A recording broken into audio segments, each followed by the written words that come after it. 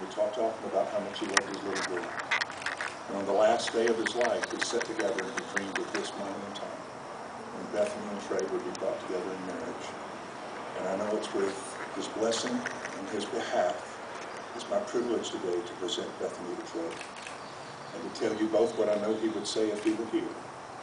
That when you reach the end of your journey, your friends, your family, and your God will not remember how you started, but how you finished. So finish strong.